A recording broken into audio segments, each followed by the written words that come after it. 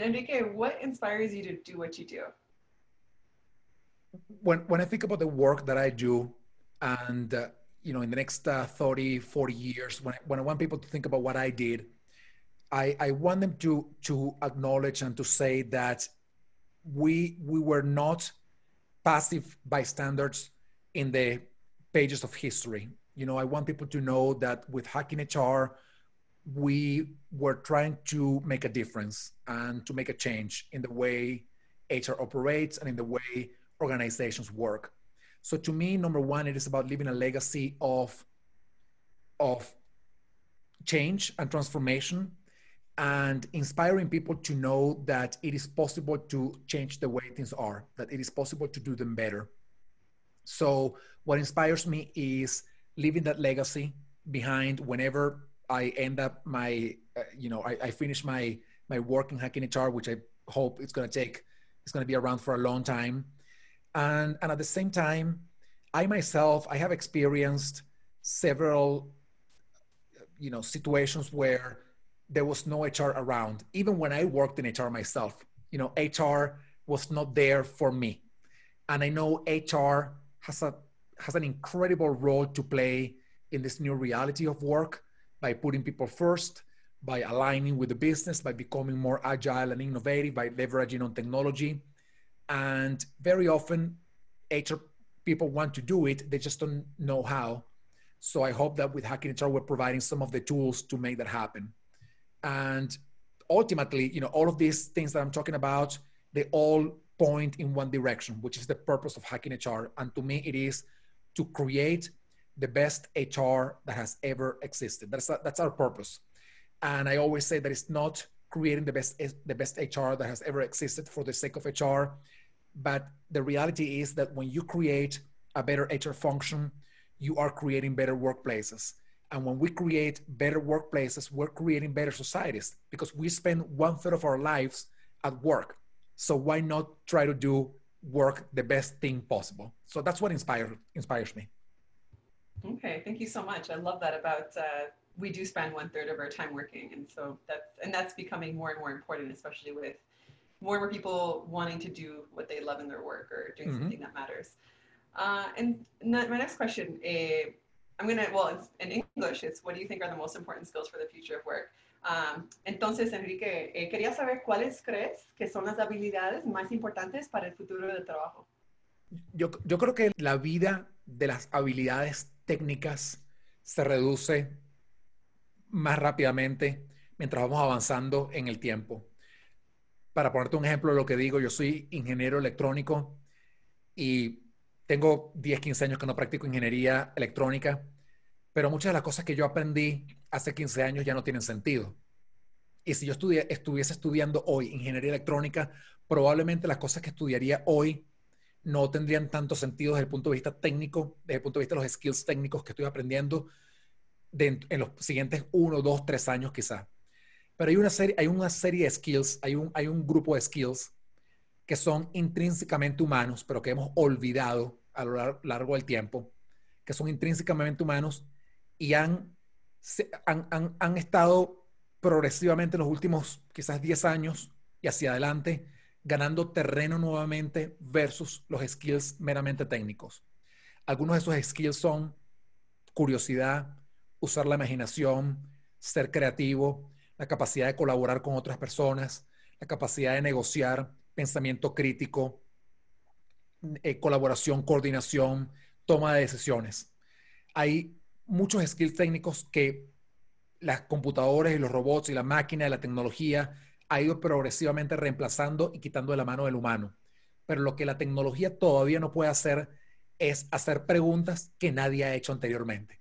Y sabemos que, y tú lo, y tú lo sabes porque esta es tu área de investigación, cuando, cuando hablamos de innovación, básicamente el proceso de innovación siempre empieza con una pregunta o con una serie de preguntas. ¿Por qué esto es así? ¿Por qué esto es de otra forma? ¿Por qué no podemos cambiarlo? ¿Por qué no podemos hacerlo mejor?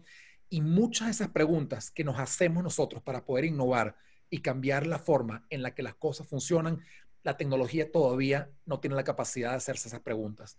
Entonces yo creo que eh, hacia adelante, hacia el futuro, los skills más importantes son skills que son intrínsecamente humanos, pero que hemos olvidado o que nos los han educado, como dice Sir Ken Robinson, nos, nos, nos, los han educado hacia afuera de nosotros, educated out of us, y lo que significa es que en la escuela, en la universidad, en el trabajo, te enseñan a no ser curioso, te enseñan a no ser creativo, te enseñan a seguir modelos que existen y a no disrumpir los modelos para crear cosas nuevas. Y estamos volviendo, pero sin embargo, los humanos por naturaleza somos de esa manera, somos creativos, curiosos, eh, eh, disruptivos. Así que creo que estamos volviendo a lo que somos naturalmente como humanos, a esas capacidades que con las que nacemos, olvidamos a lo largo de nuestra carrera eh, de vida profesional y ahora estamos reaprendiendo para poder utilizarlas en esta nueva realidad de trabajo o de vida, si se quiere. Gracias.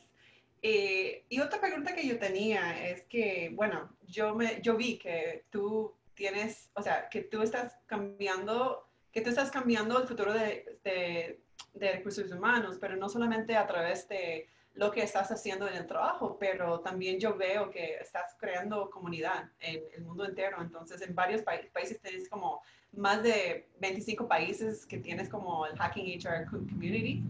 Y quería saber si eh, tú consideras Community Building como una habilidad del, uno de los future skills, porque parece que mucha gente no está pensando es, en eso como una habilidad, pero si no, me, están contando habilidades como empatía y colaboración y innovación, creatividad y todo eso, pero yo en mi libro estoy escribiendo sobre la importancia de, de community building y crear una comunidad, que es muy importante como una habilidad y quería saber tu opinión eh, sobre eso. Sí, yo creo que parte, parte esencial de lo que vamos a requerir como una, como una capacidad hacia adelante va a ser colaboración. Y evidentemente colaboración forma parte de un, un set de skills entre los cuales está la capacidad de crear comunidad. Yo, yo soy de los que piensa que los problemas que tenemos y los retos que tenemos en el mundo en este momento son tan difíciles, tan complejos, tan comunes y globales que es imposible para una persona individualmente o para una organización individualmente o para un país e incluso, e incluso una región individualmente resolver esos problemas. Lo que quiere decir que yendo hacia adelante, esto, esto, ha sido, esto ha sido verdad siempre, lo que pasa es que creo que ahora es mucho más evidente de lo que era anteriormente. Creo que vamos a necesitar mucho más unos de los otros para poder resolver estos problemas tan complejos que tenemos en el mundo y para poder contar, para poder quizás desatar una, un tipo de, de, innovación radical, si se quiere, para poder resolver estos problemas complejos, nos unimos a través de comunidades. Y al unirnos a través de comunidades tenemos conversaciones que son poderosas, tenemos un, traemos talento que es diverso y de alguna forma desatamos la capacidad de ese talento para poder de alguna manera traer ideas a la mesa que puedan ayudar a resolver esos problemas complejos que estamos teniendo eh, en el mundo. Así que para mí, no solamente es una capacidad poder, crear, poder colaborar y quizás crear comunidad, es, una, es, un, es un mecanismo, es un puente para poder de alguna forma resolver de manera creativa e innovadora los problemas difíciles y complejos que tenemos en el mundo. un, ejemplo de, un ejemplo lo que digo es el cambio climático, por ejemplo, que es uno de los problemas que no solamente más graves que la humanidad está enfrentando en este momento, sino además es uno de los problemas más globales, si se quiere, porque eh, eh, eh, cambio climático no es un fenómeno que afecta a las zonas que están en las costas, por ejemplo, es un fenómeno que afecta a cualquier ciudad, cualquier país del mundo. De alguna manera tenemos que crear comunidad donde científicos, gobiernos, gente de recursos humanos, organizaciones se empiezan a juntar para poder conversar y buscar soluciones innovadoras a estos temas tan complejos que tenemos. Así que yo creo que comunidad es la forma, para mí es como la madre de todo, porque es la forma de lograr los cambios que queremos lograr y mucho más importante que lograr esos cambios es hacerlos sostenibles, sostenibles en el tiempo. Y para mí la idea de comunidad es el, el, el paraguas, el umbrella, para lograr que todas esas cosas, esos cambios puedan ocurrir. Gracias. Y, o sea, yo también quería saber, ahora mismo hay este, ahora mismo el emprendimiento es muy popular, o sea, todo el mundo quiere ser un emprendedor y también vemos que mucha gente que tiene un, trabajo de, tiempo pleno quieren como tener algo aparte, un proyecto, y eso ya se, está devolviendo muy, o sea, mucha gente lo, lo quiere tener, quiere hacer eso. Entonces, eh, quería saber, eh, el emprendimiento, eh, hay muchas organizaciones que no entienden que mucha gente se están saliendo de organizaciones porque quieren no solamente tomar el camino de emprendimiento por solo tener un negocio, una empresa, mm. pero para encontrarse a sí mismo o conectarse a sí mismo. Entonces, yo veo que yo estoy de acuerdo con James Clear que entrepreneurship is a personal growth engine disguised as a business pursuit. Mm. Entonces, eh, yo veo que mucha gente están eh, escogiendo ese camino de emprendimiento para encontrarse porque eh, se han perdido a veces en sus trabajos en organizaciones. Entonces, quería saber tu opinión sobre ese ese trend, eh, qué va a ser, cómo va a ser en el futuro y tú crees que tiene que ser como un hybrid o, eh, no sé, porque tú tienes eh, las experiencias de, los dos, ambos emprendedor y, dentro de una organización. Es una pregunta súper interesante y me encanta la forma en la que has quizás enfocado la parte de tu comentario que es que el emprendimiento no es solamente buscar hacer un negocio, es, la, es, una, es un proceso para encontrarse a sí mismo. Te quiero poner un ejemplo. Tú y yo trabajábamos en la misma organización y estoy seguro que esto no, no, no, lo, vas a escribir textualmente en el libro, pero yo sabía que de mis capacidades creativas, quizás solo el 10% estaban siendo utilizadas en esa organización. De repente el 5%. Y el resto de mi día de trabajo era hacer lo mismo, un día sí, el día siguiente también y el de después también. Y todos los días, day in and day out, it was the same thing. El mismo trabajo, utilizando el 5% de mis capacidades creativas. Yo tenía dos caminos, como muchos otros eh, eh, empleados de organizaciones tienen en su, en su carrera. Uno, seguir utilizando ese 5% y sentarse a mirar Facebook o YouTube el resto del día en la oficina. O decidir hacer algo valioso, tanto para sí mismos como para el resto de la sociedad, con el resto del 95% o cualquier porcentaje que sea que esas personas no están utilizando de manera creativa o, esa capacidad creativa que no están utilizando. Yo encontré, por supuesto, una fórmula ideal para mí que fue crear Hacking HR para poder encontrar un creative outlet de alguna manera a este 95% de creatividad que no estaba siendo utilizada.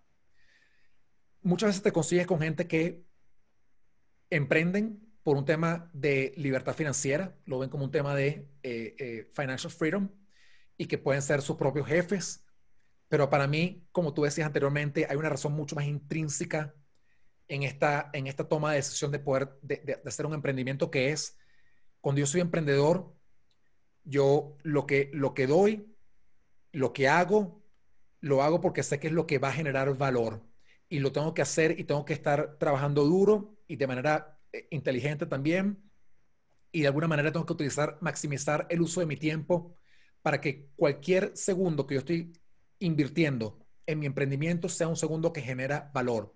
Mientras que no necesariamente es lo mismo en el trabajo, donde solamente utilizas el 5% de tus capacidades creativas. Así que yo creo que es, es, una, es una tendencia que va a continuar si, los, si las organizaciones no cambian. Hay organizaciones que le permiten a la gente ser muy creativa.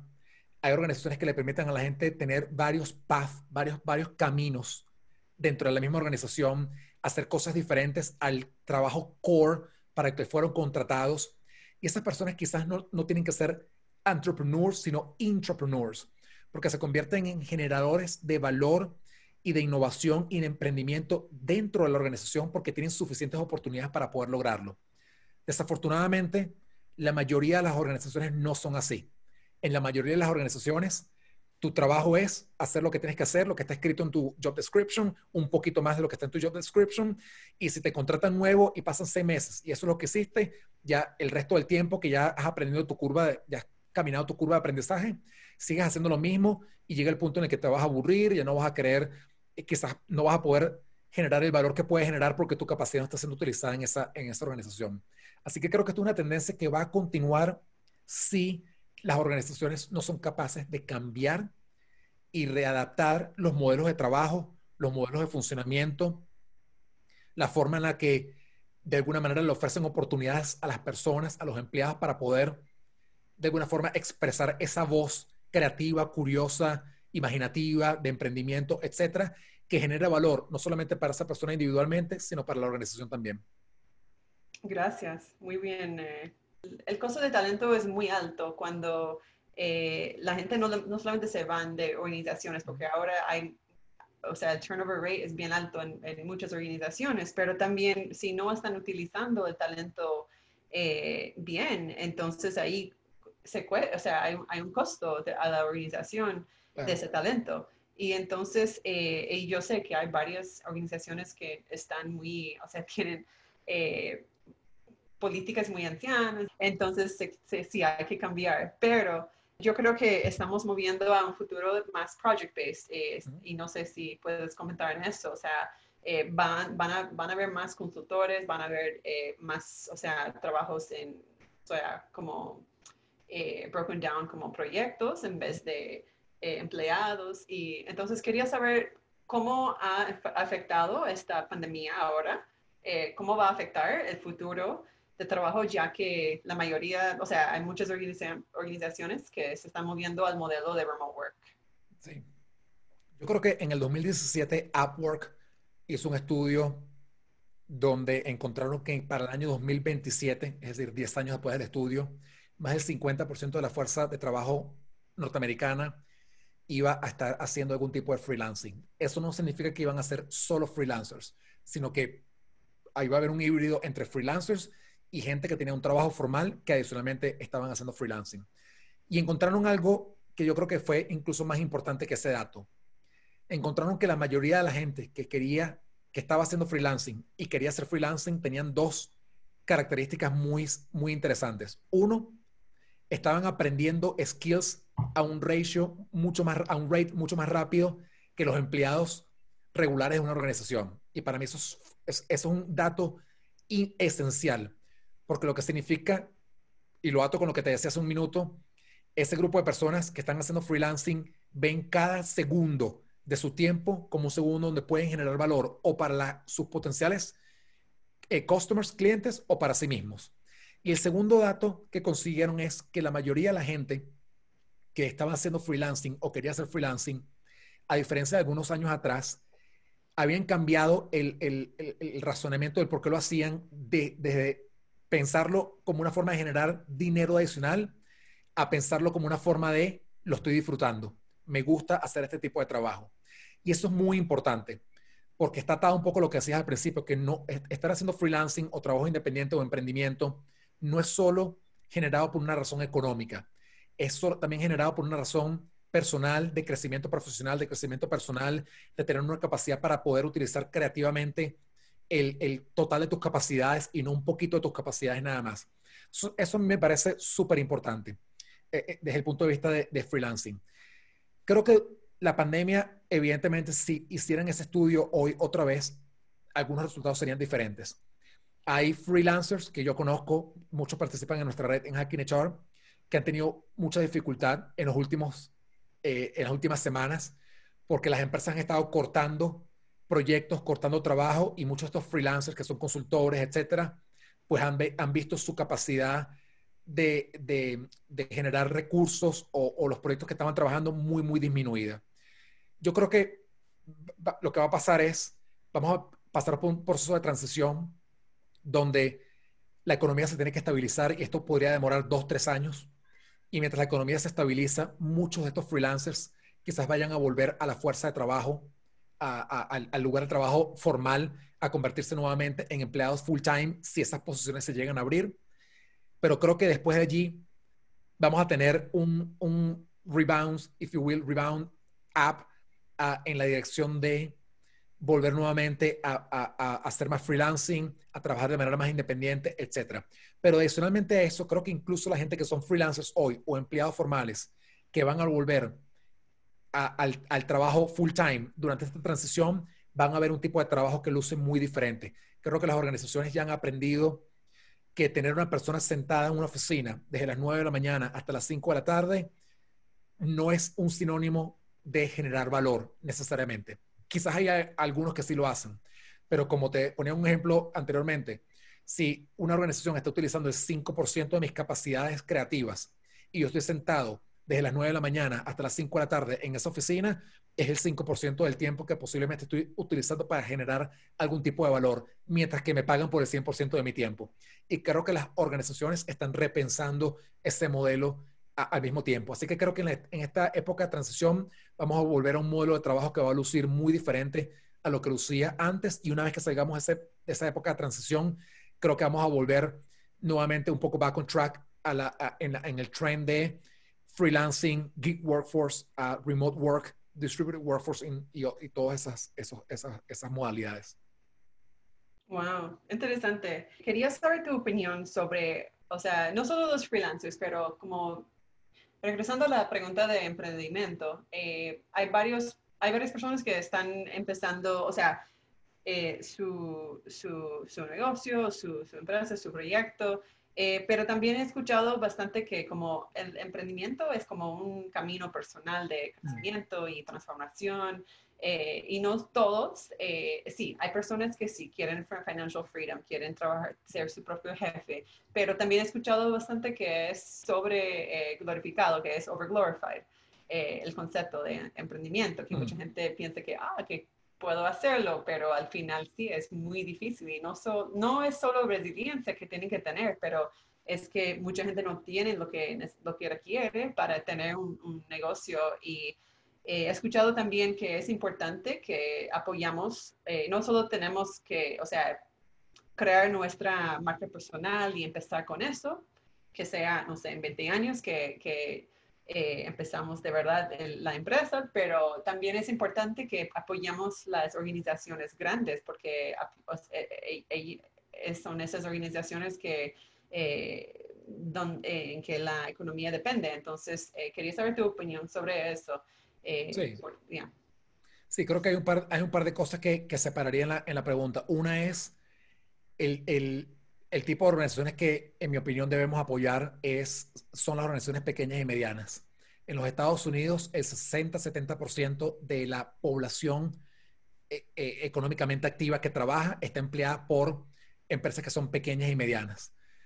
Y la pandemia ha demostrado que en este país, y lo mismo ocurre en muchos de nuestros países latinoamericanos y en el mundo en general, y yo particularmente miro aquí en Estados Unidos como un modelo eh, interesante, de las cosas positivas, pero también las cosas negativas, te encuentras que no hay un, no hay un safety net para las empresas grandes y, ah, y medianas en este país.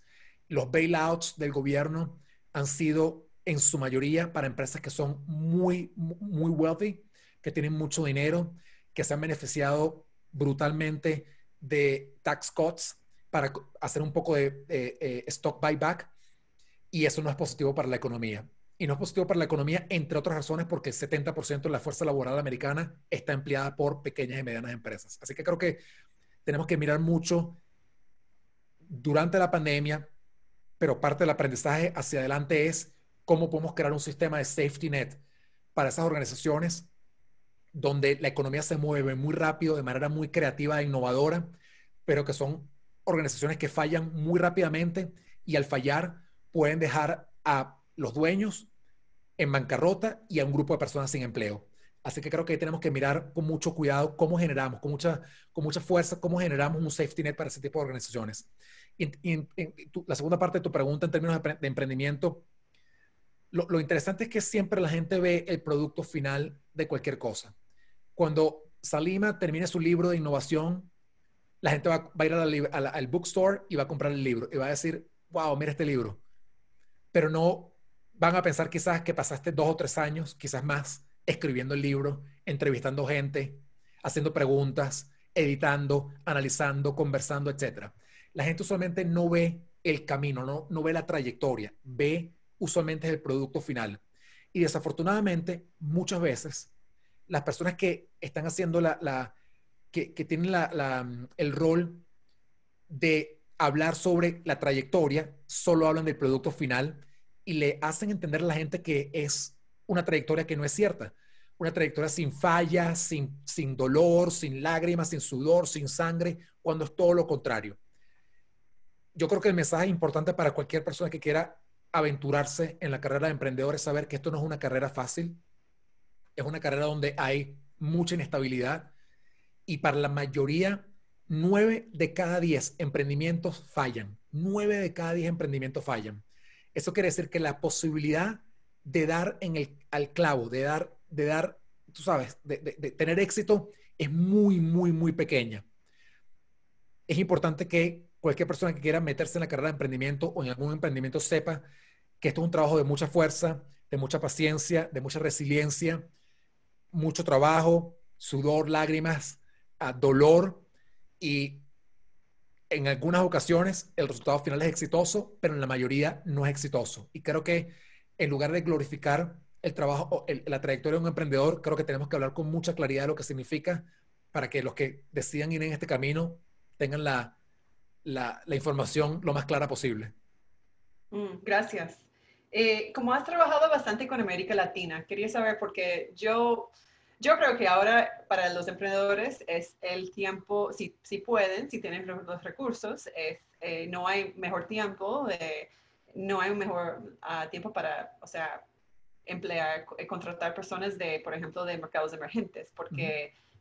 yo creo que para mí, por ejemplo, tenemos, o sea, tenemos varios empleados en, en Bogotá, y me parece que ahora que mucha gente está en la casa sin trabajo y hay mucha, o sea, mucho talento, mucha, mucha, gente que están buscando trabajo y ahora es el tiempo para, o sea, eh, aprovechar eh, de este talento y, crecer y hay mucha creatividad durante esta época. Entonces quería saber tu opinión sobre cómo el mundo se está eh, devolviendo más pequeño, como hay hay mucho talento en, mercados emergentes que están bien, o sea, están emergiendo. Entonces quería saber qué tú crees que va a pasar eh, con ese talento eh, en los mercados emergentes en cuanto a la conexión con, por ejemplo, Estados Unidos y los otros países.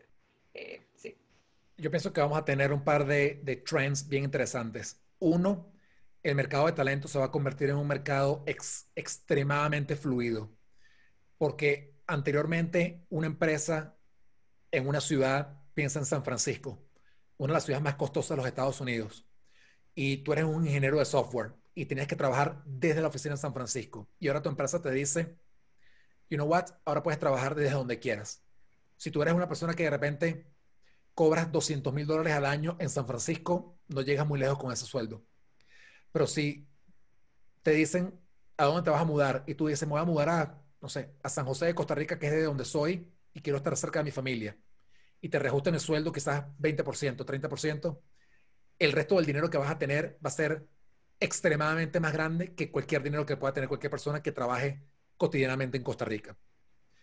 Eso por una parte va a generar, por supuesto, un, un mercado laboral y quizás una economía muy, muy competitiva y muy fluida. Por otra parte, tu talento ya no lo vas a tener que buscar en la ciudad donde estás como empresa, lo vas a poder buscar en cualquier ciudad de tu país o en cualquier país del mundo. Y eso va a generar, por supuesto, en mi opinión, mucha más competencia por talento que es más creativo, más innovador, que genera más valor. Si puedes trabajar desde cualquier lugar, ya no estás geográficamente limitado. Ya no estás geográficamente limitado como empresa.